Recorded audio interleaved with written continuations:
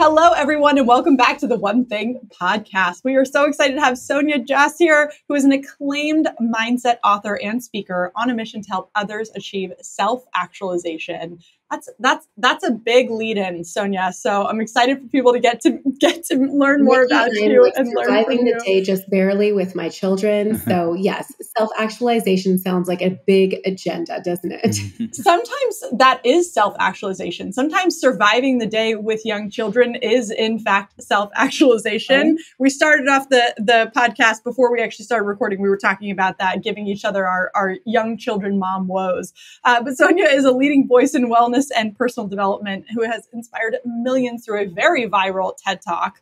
Where do the happy people live? And we're going to be talking a lot about that and her best selling book. I'll start again tomorrow and Other Lies I've Told Myself. I just love the title. Uh, uh, Sonia's message, message is very clear. You will all hear it today that she, you can live a life of ease, joy, purpose, and authenticity, one of my top values, uh, while still achieving your dreams. Welcome, Sonia. We're so so excited to have you. Oh, thank you so much for having me. Honestly, our, our sidebar conversation, I feel like kicked off this whole session so beautifully. So I'm ready to dive in. And hopefully my children leave me alone for just like another 45 minutes. And if they don't, that's okay too, because every entrepreneurial parent listening to this would be like, yep, I get it. Uh, we've all had those stories, especially in, in the world of working from home. The kids who run into Zoom meetings butt naked or or are yelling crazy things in the background, and it's like you just oh, you just learn to keep going so as a parent.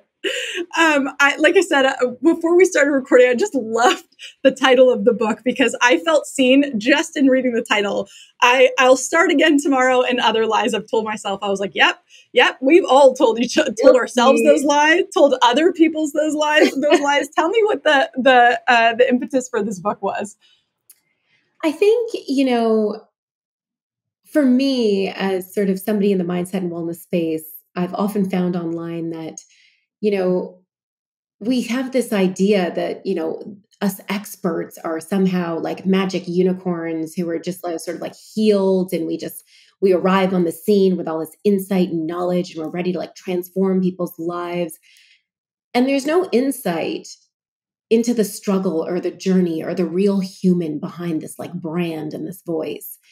And i think for me the biggest missing link has been just getting into the vortex of the noise with people and really helping people to feel less alone in that shame and guilt and fear and that on the wagon, off the wagon, never ending spiral that we all seem to deal with. And so I think, you know, throughout my career, it was obviously working with clients hands on at first. And then from there, I sort of moved into the speaking space.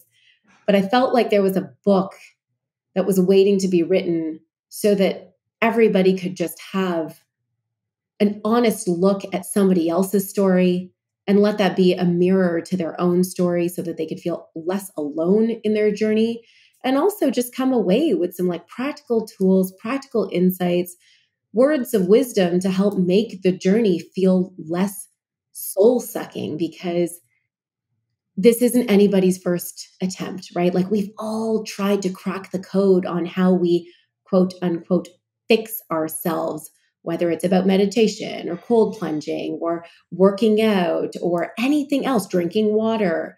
We're all some way, shape, or form dealing with the tug of war internally to make it to the other side.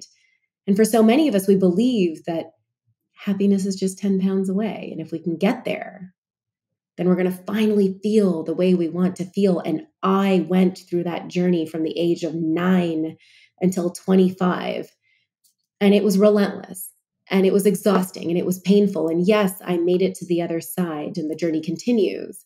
But I think for me, the book was really meant to just peel back the layers on the facade and just show people like what it actually took to get me to the place that I was at where I could be, quote unquote, like an expert, let's call it, you know?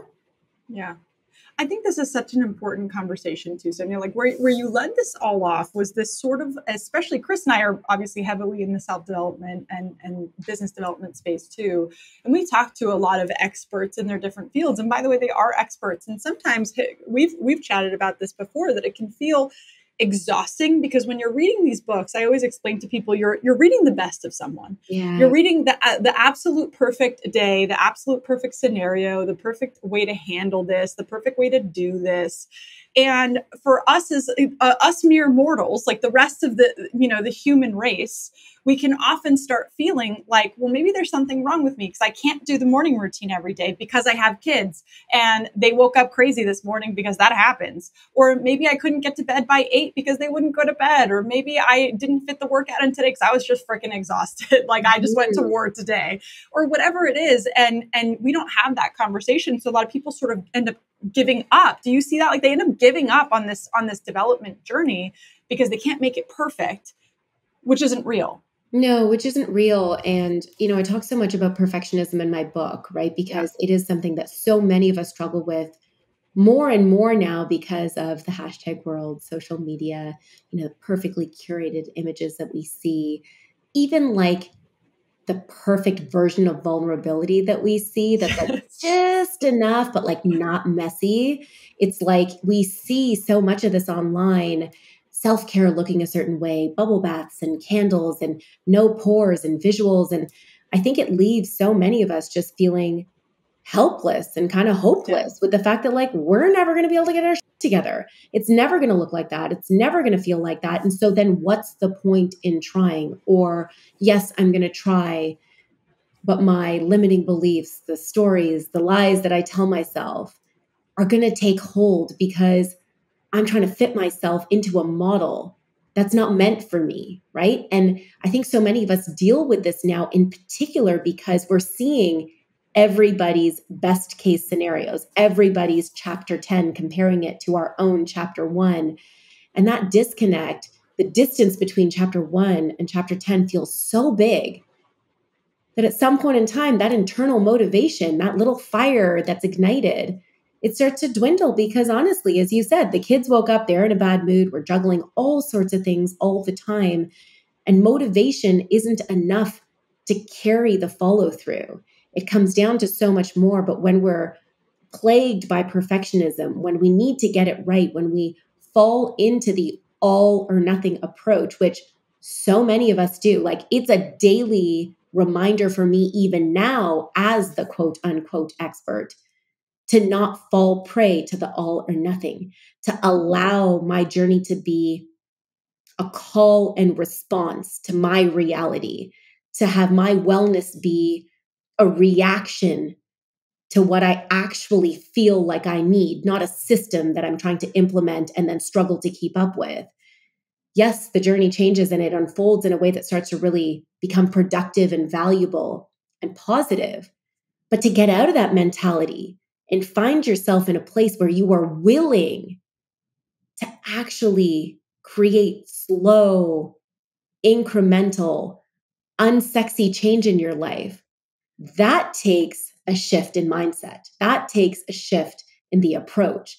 And that's sort of why I wrote the book the way that I did, right? Because so often we're like, oh my God, we want to get skinny. Great. 30 day abs, go. And it's like about getting on with the doing but as I've learned in my life with everything, but particularly when it's come to my relationship with my body and my wellness, so much of the work is done in the mindset work that's required to shift the approach so that the journey can be different when you're in doing mode. You got to clarify the mindset work first so that you can put it into action through the doing. One without the other doesn't work. But if we don't get clear on the foundation, it's just going to be the same cycle again and again and again two steps forward, three steps back, one step forward, two steps back. And it's exhausting. Like we're so tired of it. And yet we can't seem to break free because, again, social media creates the vortex.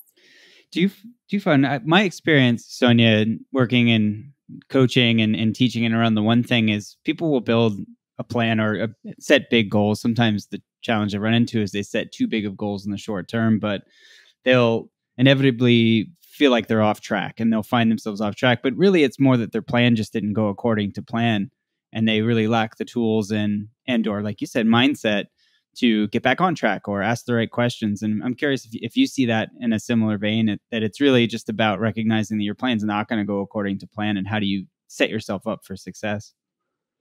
Yeah, absolutely. I see that all the time, you know, even with myself, right? Like, even to this day, you know, I fall off the wagon a little bit for a day or two. And then I'm like, great, tomorrow I'm drinking three liters of water. And then I'm peeing all day. and I'm like, oh my God, this was a disaster. And the whole thing just becomes a mess. But, you know, I think for for so many people, it it's it's that the plan is out of alignment. Mm with what they really need. It is a plan based on ideals, a plan based on wishful thinking, a plan based on pushing rather than responding.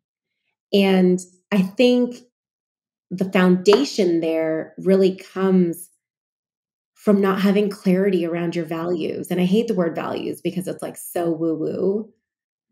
But I really mean your evaluation criteria you know, you think sort of like when you're an adult, you're just going to like know what you need, know who you are, and then just like feed your life through that evaluation criteria. And there you are. Now you're successful and happy. Turns out most of us are really just winging it based off of legacy operating values, ideas, systems, programs, paradigms. We just are sort of ping ponging between everybody, everybody else's ideas of who we should be who we need to be, what we need to be doing, how we need to feel. And I think without that fundamental clarity on your evaluation criteria for your life, what is the highest version of you looking to stand for? How can you have the foundation of a system that works, right? You're again just sort of building something that looks good, hoping for the best. But when you can gain that foundational clarity, when you can really get clear on why you want what you want, why you think what you want is going to make you feel a certain way, and why you want to feel that way to begin with, you really start to create an environment for clarity that can allow you to build the steps as you go as a response to that version of who you are growing into being, right? I think when we look for a plan that's going to go according to plan, we again set ourselves up for failure because, as you know, none of us are robots. Mm. The plan's never going to go according to plan. The question is, why is the plan that way to begin with? Mm. Why are we expecting it to go according to plan? And why does it need to look a certain way for us to feel like we're getting closer to the finish line? Because there is no finish line. What finish line, right?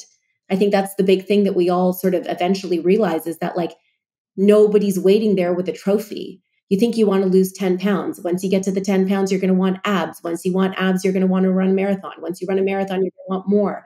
It is a never ending snowball of not being good enough and thinking that we can achieve something, whether it's weight loss or a promotion or a new relationship, to make ourselves feel good enough. But that momentum starts to dwindle and we start to realize along the way, I'm not feeling any better. This isn't actually working. I'm actually just exhausted. I hate running. 90 minutes of fasted cardio is the worst. And then we fall off the wagon because, again, that clarity wasn't there to begin with.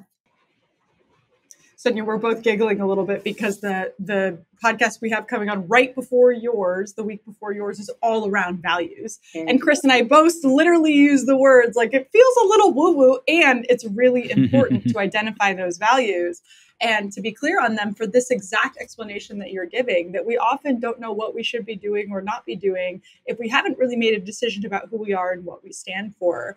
And you and and you said something really important. I think that this trap is so prevalent right now because information is so prevalent in the world of social media.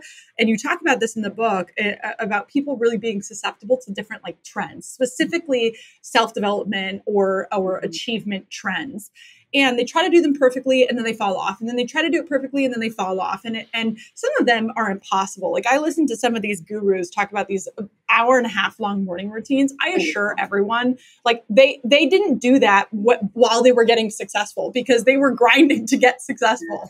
They have only recently had the time to do that hour and a mm-hmm. half long morning routine. It's completely unrealistic for again the rest of us mere mortals. So i and and i i love how you talk about this and how you help people understand how to find alignment in this. Can you talk more about that? How you help coach people to do that? Yeah, I think, you know, the big piece about building a routine and creating a system for yourself is is again getting very clear on those foundational values. You know, when we look at wellness, it's very easy to be like, okay, like now I'm carb free, I'm dairy free. I do fasted cardio in the morning. Then I do HIIT sessions and I'm spinning. Then I'm running. Okay, then I'm doing cold plunging and then I'm doing contrast therapy and I'm drinking reishi tea. It's just, again, as you said, there's so much out there that people are touting to be like the elixir or the answer. And if you can just crack the code and do it the way I'm doing it, then you're also going to be able to like heal yourself and change your life. But what I found for myself is when I can help somebody get clear on their pillars, on their buckets, movement. Okay, yeah, is movement important? Why is movement important? What kind of movement do I not hate doing? Cool. Nutrition. What is it about nutrition? Is it nutrition? Is it calories? Mm-hmm. Is it fuel for performance? or is it about aesthetics?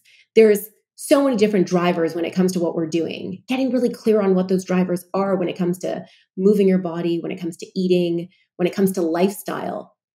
It's so critical because, again, when you have those pillars, you can line yourself up with options and activities and actions within those areas that can meet you wherever you really are on the day that you're living, right? So, for example, rather than it being an all or nothing approach, and it's like, you know, if I don't do the 60 minute routine in the morning, then what's the point even? Let me eat yeah. all the Why move on with the day? right. Eat the donuts today too, though. Get it all in, like spicy popcorn until I can't breathe anymore. and then like go to bed and then like wake up in the morning and I'm going to start again because like now I'm going to be suddenly over it and ready to get back on the wagon. Ooh, but I can't because I didn't sleep that well.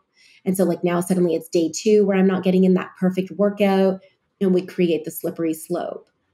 But when you can get clear on the pillars and you can get clear on your version of activities or actions or choices that fall into those pillars, then you have a menu that you can choose from on a daily basis to help you keep aligned action at the forefront of what you're doing and that positive momentum continuing. So, for example, last night I got three and a half hours of sleep, wasn't a great night. I had planned to work out this morning and do a spin session. I woke up and was like, You didn't get enough sleep. You're not feeling great. Now, historically, you're right. I would have woken up and been like, oh God, well, I didn't sleep. And okay, either I would have pushed myself to work out super hard anyway and been like, doesn't matter, no sleep for the week. Or I would have been like, okay, I need a break today. I don't feel good. But I would have regressed in the, into the comfort of food to make myself soothed, feeling better, ready to just sort of like end the day in fetal position, hoping that tomorrow I'm going to be able to turn things around. When in reality, I woke up today, wasn't feeling great, was like, oh, I'm tired. Okay, so then from the nutrition bucket, what what can I do today that feels within my capacity to help nourish myself because I am exhausted? That's still going to help me feel like, okay, I'm not throwing the baby out with the bathwater. What can I do from a movement perspective that's no longer going to be the spin session in the morning? That's going to be a response to how I really feel. Maybe it's stretching today. Maybe it's a little bit of yoga. Maybe it's just a walk. Maybe I'm getting some steps in.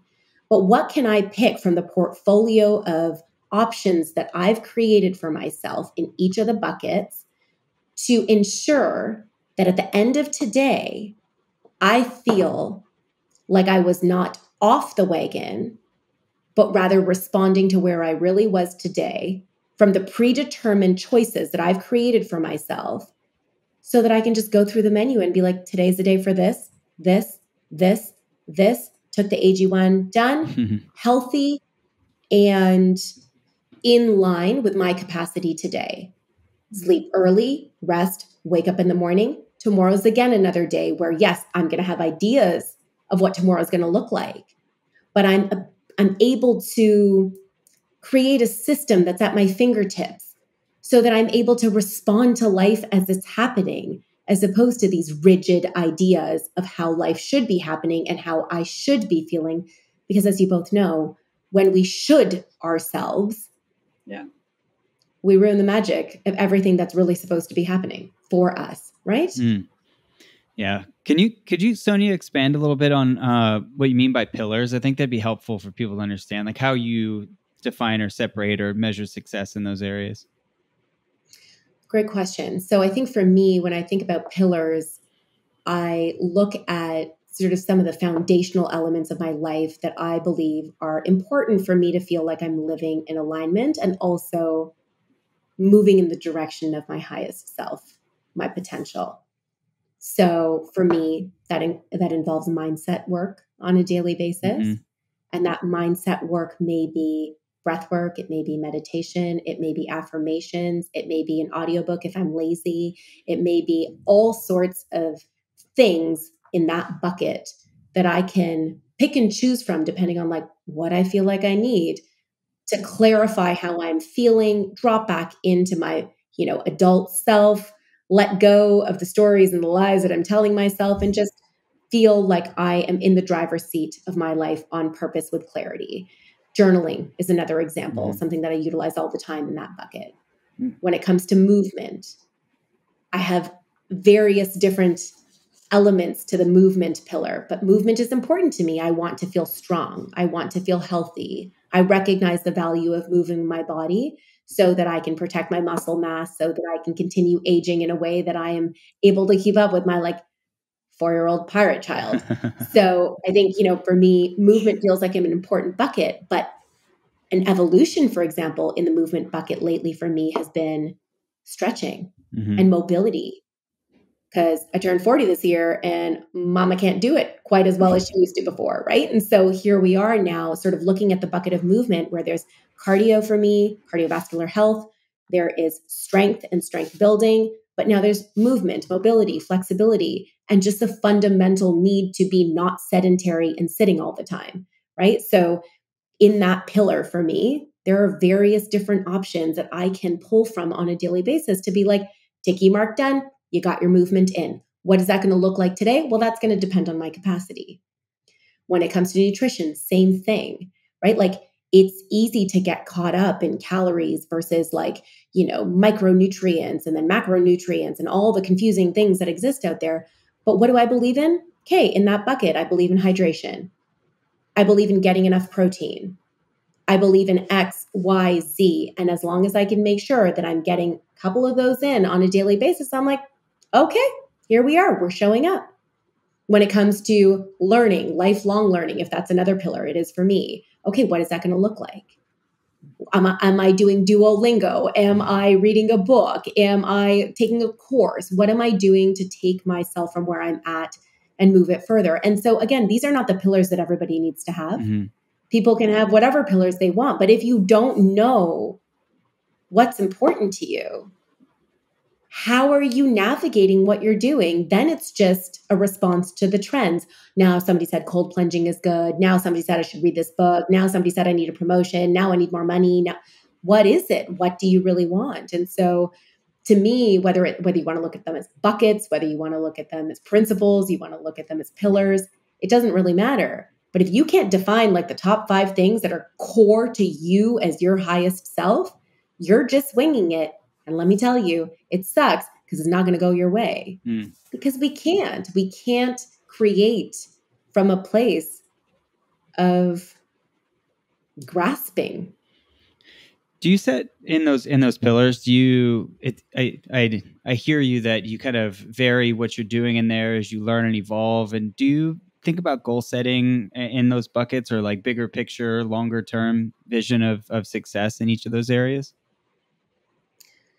Yes and no. Mm-hmm. I think inherently for me specifically, because I've inherently been a perfectionist, a very like type A self overrider for the purposes of getting to the finish line, I'm actually at a stage of my life where I'm like, I need less goals. I need no goals, no more goals for me. Actually, every day needs to be a deliberate choice to move with intention and clarity, but to release the goal aspect of mm-hmm. it because I'm so good at overriding who I really am, what I really need, what actually feels good for the sake of the goals.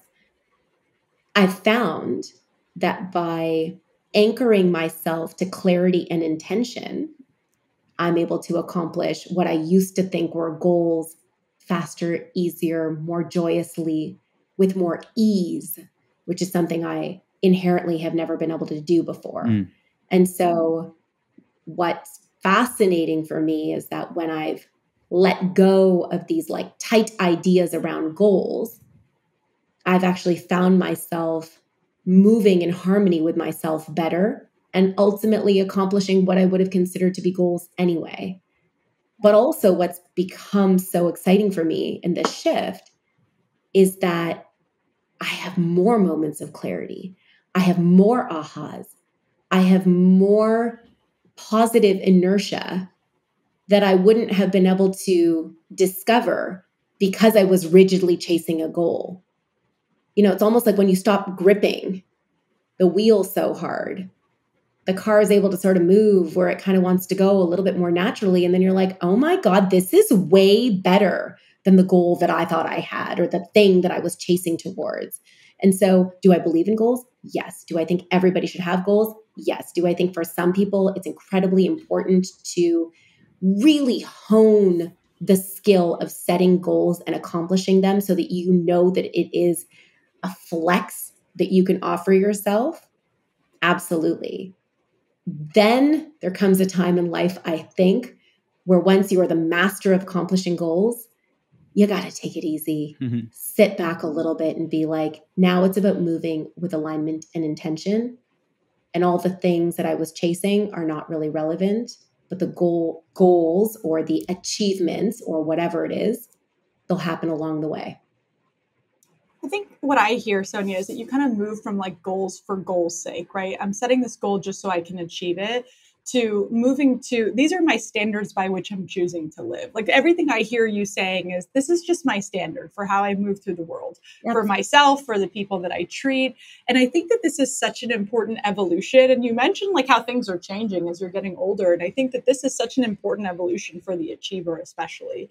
I know, uh, I know I've personally gone through this. I used to be a, a very competitive athlete and, and the, and the world of working out like changed and there takes uh, it requires an evolution within yourself really to feel like yeah stretching is for 30 minutes sometimes is is what you're going to get and that's okay yeah. and it's better than zero yeah. and by the way it's better than pushing through and and and running a 15 mile you know run when you're really not feeling up to it exactly. and i'd love to hear your perspective and i think as you grow through that i this was certainly a challenge for me and something i hear for a lot of achievers is like finding that balance between, okay, I'm going to push myself today because I'm not feeling it and I'm just not feeling like it, or I'm not going to push myself today because I'd be pushing myself too far.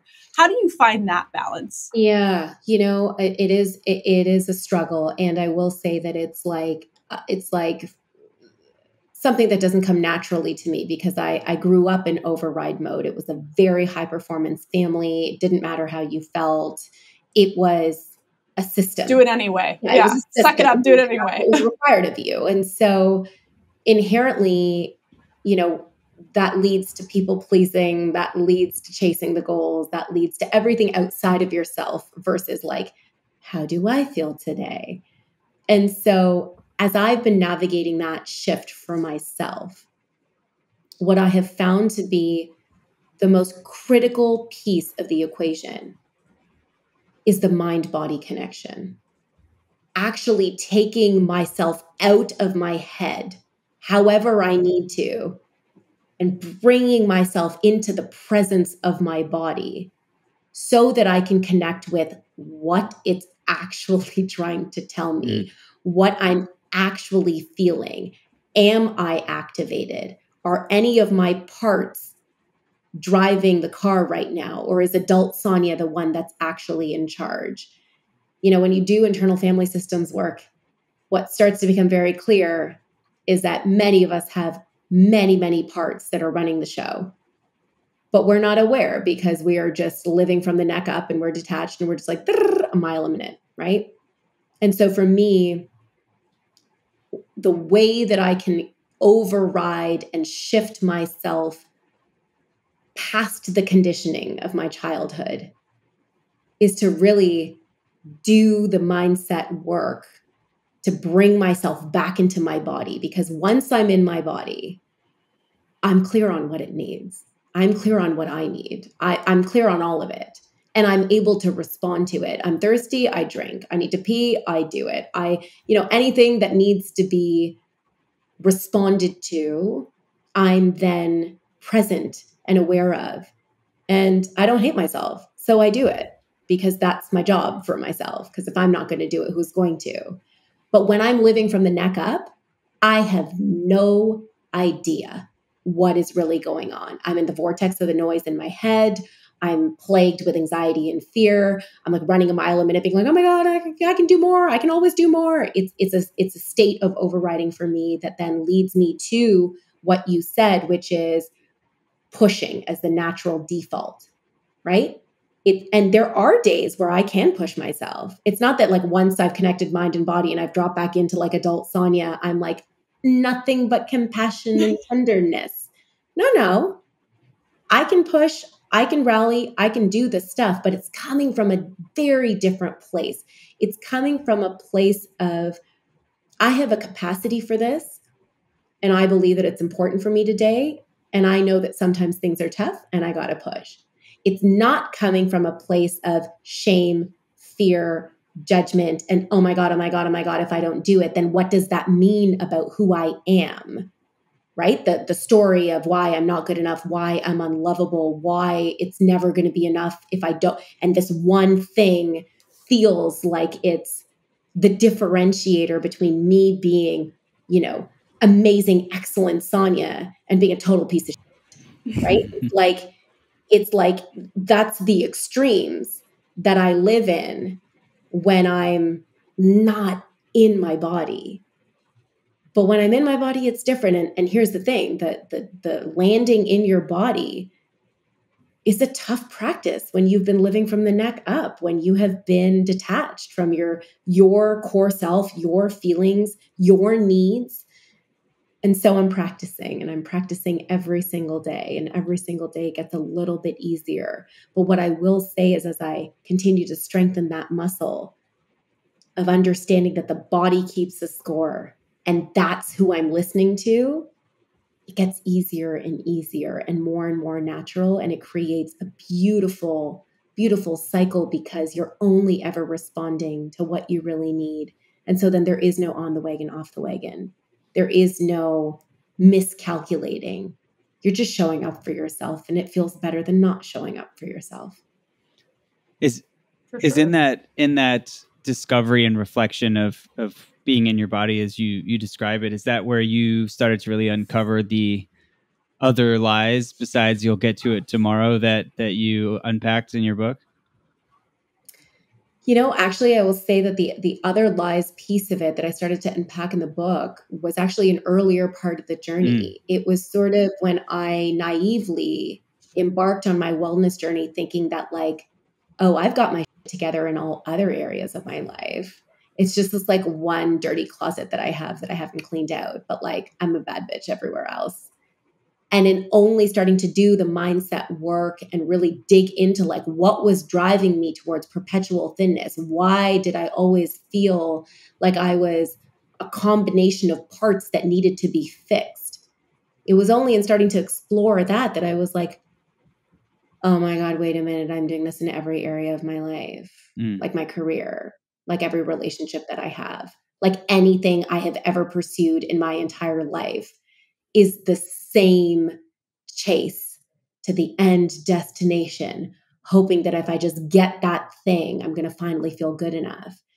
And I think it was that sort of aha moment that led to the exploration in all areas of my life around where is the incongruency coming from? Where is the misalignment coming from? Whose drum has whose drum have I been marching to the beat of, right? Like what what is what is it? And I think it was that exploration that then led me to quit my corporate career and all the thing things and just make the big massive pivots. This this responding to my body, this being in my body is actually a newer journey. I'd say it's only been going on for a couple years because I think you get to the point where you do so much work reorganizing the drawers, right? And you're like, okay, mentally the drawers are reorganized. And now it's like, I, am no longer who I used to be. And I feel like I'm in control. And this is great. And I'm in alignment. And then you hit the next run of your healing journey and you're like, oh my God, it's not that I needed to reorganize the drawers, it's that everything in the drawers needs to be burned down. I need to I need a full purge. I need to donate everything inside the drawers and figure out what really stays and what really goes. And that journey has been about dropping into my body and really finding that deeper source of clarity and an understanding of like who is Sonia at a at a deeper soul level than just the goals and the goals and the goals. Mm-hmm. I think Sonia, we we hear when we talk about really discovering yourself and really going on on this um, you know self knowing journey and a self development journey. I think a lot of achievers get fearful that they're going to lose their drive like mm-hmm. that that they that they resist against it because they're going to lose the drive to achieve which i actually believe in an odd way comes from this uh, you talk about the idea of perfectionism and the idea of people pleasing a lot in the book. And i think that that unrelenting drive to achieve often comes from that Absolutely. and and and yet we don't want to but and yet we don't want to touch it because we don't want to lose the drive because gosh forbid we not achieve so greatly as before i'd love for you to walk through your journey and and, and often what we see is the people who do take that plunge even end up achieving not only faster but also greater mm-hmm. so it's very counterintuitive mm-hmm. uh, but i'd love to hear how you had to heal that sort of people pleasing and perfectionist journey in order to get to that place and and and maybe a little bit of your thought process and like the vulnerability it took during that. Because I think you have a, got to have a little bit of faith as you go through it that you're not going to completely undo your all, all the things that you work so hard for. Yeah, you really do, and and I I think for me, if, God, like the journey still continues. You know, it's every step of the way. You think like okay, I've got it now. And then you realize, like, what does that even mean? And it's always evolving. And to be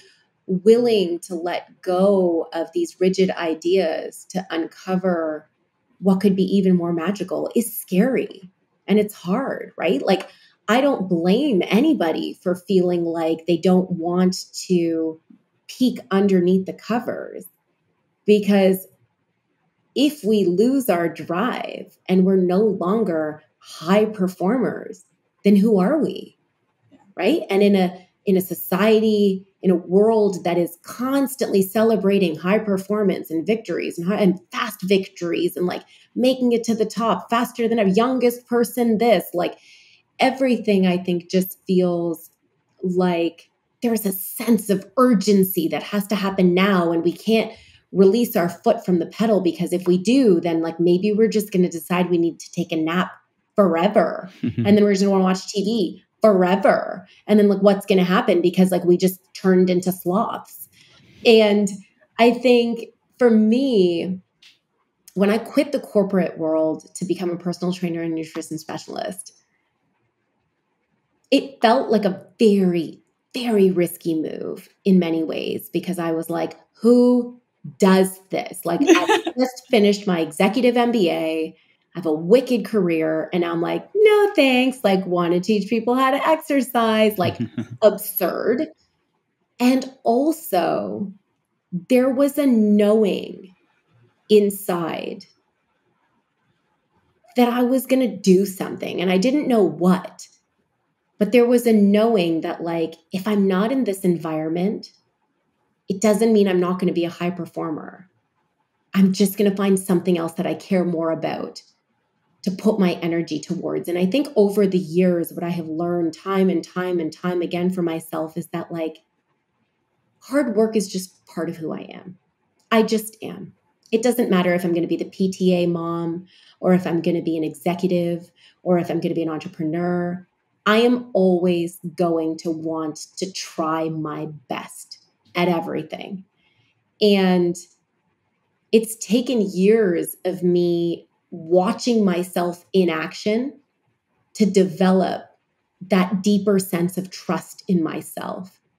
To say, I don't need to be constantly whipping myself into action in order to prove to myself that I want it bad enough. And I think even as the journey has evolved for me, it has taken me sort of big moments in my career where I've had to be like, oh my God, I worked so hard at this project and like, look, it did all the things and great, great, great, great, great. And that, you know, sort of knee jerk desire to jump into the next project so that then the next thing can also be great. That has happened to me many times in my entrepreneurial career where it's been like, gotta go, go, go, go, go, because I just need to like make it to that next clip level. And then once I'm at the next clip level, then I can take a break. Once I'm at the next clip level, I can take a break. But then along the way, I've experienced bouts and bouts of burnout, right? Because again, it's the self betrayal in all the moments, the overriding in all the moments, believing that if I get there faster, then I'm going to slow down. Realizing every step of the way that, like, I never slow down. When do I slow down? Mm-hmm. When have I ever slowed down? I've made it to the clip level. I've taken a minute to be like, ah, I'm exhausted and broken. And the next day I'm like, next project. And candidly, I got to the point at the end of last year after the book tour was done and everything, and the bestsellers list and the blah, blah, and the whatever, where I was like, I'm staring down the barrel of six projects next year. And I don't think I want to do any of them. Now what? To even be honest enough with myself that like oh my god this just feels like more work for the sake of work so that i can be like see i didn't slow down. That was just the beginning of how amazing i am. That started to feel like yo man even i can't believe my own mm. that is not that is not true. It is keeping me on the hamster wheel. I'm back on the hamster wheel. I'm chasing again. And it's so insidious right? It's so so subtle when those seeds start to get planted again and when you're starting to get pulled out of alignment again. But I think for me, what I have found every step of the way is that when I offer myself a little bit of grace and I offer myself a little bit of compassion, and when I give myself a little bit of breathing room to work in harmony with myself as opposed to against myself. What happens is the work flows, I flow. There's nothing but positive momentum that's created. And it isn't a one step forward, two step back. Whereas when I push, it is a one step forward, two step back because I may get to the end, I may get the project done, I may be like, oh my God, I'm amazing for half a second. And then I'm right back to the same place where I'm like, no, I don't, I don't feel good. And now what? And so I think I, I continue every day to practice the art of finding a little bit more flow, a little bit more alignment, and releasing the outcome really aligning myself with purpose versus outcome. And that's hard when you're a perfectionist. That's hard when you're an achiever because the outcome is, frankly, all you're really born and raised to believe matters, right? But when you can align to that clarity and align to the purpose, as you sort of said earlier, it's like suddenly things move differently, they feel differently, the universe conspires differently, and there there is I think there's just a, a, much deeper sense of satisfaction along the way, which carries you through the hard parts. And once a high achiever, always a high achiever. Like that's not going to go away. And I think that's the threat that most people feel like, what if I just regress? You're not going to regress. And the speed and the ease that you can move with when you're able to break out of the outcome mentality, it just it just makes everything so much more joyous. Mm. I so appreciate this this differentiation. And in my head, I always say it's, you, you move from the sort of reactionary state to this very intentional state, mm-hmm. right? That I'm just reacting to life and I'm just moving for the sake of moving to this to this very intentional state. If I know why I'm doing this, and if I am working hard, that I, I know why I'm working so hard and I know what it means to me and I know what's on the other side and I know what balance I'm bringing to my life on the other side of this hard work. But I especially love you saying what you did about once a hard worker, once a high achiever, always a high achiever, because I do think people miss that in this conversation and on this journey for themselves. Yeah. Like, you're not going to move so far away from who you actually are fundamentally. And most achievers wh- whether it by nature or nurture like once once you're in adulthood that that is who you are. Like you are going to be a hard worker you are going to be an achiever. And you're not going to go on this journey and just say well i'm going to i'm going to quit everything and be a couch potato and watch tv all day. Like it's just not going to happen. It isn't. And i think uh, so often we think that like healing or overcoming is going to like lead us to a place where we're just like we're just like good and chill and we like don't want it anymore. But I think what a lot of people don't realize is how hard the healing process is. You want to talk about being a high performance woman, you want to talk about being full of grit and tenacity and resilience, you want to fight through, you want to flex your problem solving muscles. Focus on your healing journey. Like nothing will show you your commitment to excellence more than that, your commitment to yourself more than that. Nothing is going to be harder than you breaking through the cycles and the programming that you're used to. It's not going to feel easy. You're not going to be chill. Healing isn't going to be delicious, unfortunately. But what happens along the way is the journey gets easier, more gentle, ease filled, and it feels good. And you think you can work hard from a place of feeling bad? You just wait until how hard do you want to work when you feel good, like really good, not performing feeling good. And trust me, like the the I have had to work harder at my healing journey than I've ever had to work in any job in any version of me being an entrepreneur like all of that pales in, into comparison as it relates to my own commitment to the work and so I think it's also adorable and naive for people to think that, like, oh, but then I'm going to like feel good and I'm not going to want it anymore. You show me that you can get to a place that you feel good. You get through, you survive the work that you're going to need to do to really be living in alignment as your deepest, most authentic self, as the person that you're meant to be. And then you come back to me and tell me that, like, you think maybe it destroyed your high performance nature. Absolutely not you will be uncovering potential like you've never experienced because you're finally connecting with what's true instead of working against yourself, hoping that if you get there, you'll feel better. Love that. I was going to say, I relate so much to what you're saying, Sonia, in my own experience. And I was going to try to read it back from from personal experience, which is like, I feel like when there's almost like an effort level that you feel like obligated to put in for the sake of outcome's sake, where you're like, I want to go to 11, right? And it's like, I'm going to go past 10 to 11. And it almost feels like you're trying to force a square peg into a round hole. And, and in doing that, you face resistance to yourself, to your own awareness, to the people around you. And it's just something to, like, if you could just, you're holding on too tight. And if you got to let go a little mm-hmm. bit and listen and ask questions to uncover what you really like, what really matters most to you, your values, uh, the values of the people around you, and it's, it's just like go with the flow and not such a, a passive like uh, you know like you're giving up control, but just go with the flow, like mm. back off a little bit enough that you can see the opportunities around you yeah. and what really matters to you. And I think that's uh, something I've experienced. Yeah. You know? So so true and i i think i think that applies regardless of what you're dealing with right mm-hmm. this is it's not about your body it can be about anything. It's all the same thing, right? Mm-hmm. Well, Sonia, I, I wish we could keep you on here forever. You've you've definitely inspired me today, and I and I love your perspective around around not only this journey but how how this can evolve and and actually propel you closer to your ultimate goals whatever they may be even if they're different than what you thought they might have been when you started. Right. so thank you for shedding light on that first personally from me. Uh, we always ask at the end of this podcast what's the one thing you would take want listeners to take away from this conversation? If they could walk away from listening to this with just one thing what would you want that to be?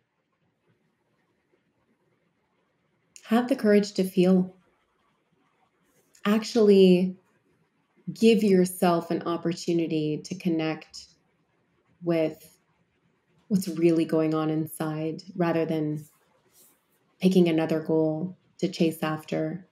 Give yourself an opportunity to really find your way to cultivate better connection with yourself because it's worth it. It's what's going to shift your journey away from being a constant tug of war to one that's not exactly, you know, easy and seamless because we're not robots, but one that's just going to move you closer and closer to who you're meant to be. And if you can give yourself some time and space, remove yourself from social media for a little bit, give your soul a bit of a voice however that needs to be true for you, whether it's traditional things like mindset practices or you need to do like ecstatic dance to just feel your energy like take a step back and really check in with how you are. Because if if you're not feeling good if you are in a state of overriding what your mind and body are really trying to tell you then you're going to be stuck in the vortex no matter what goals you achieve and inevitably, you're going to have to buckle up and do the work at some point in time. And so be willing, be open. Nothing's going to change what a high achiever you are. But when you connect with yourself, I think you'll really find the magic comes because then it's a life of alignment, ease, and joy. And that's pretty spectacular. So beautiful. And Sonia, if people want to connect with you, where can they find you? Oh, just on social media at Sonia Jhas, all the things, all the places. You know how it is. well, we'll drop all the links for to uh, for your social as well as for the book. If people want to pick it up, I'd highly recommend it. We're going to drop all of that in the show notes. Thank you so much for spending some Thank time you. with us today. Such a pleasure. Thanks, Sonia. See everybody next time.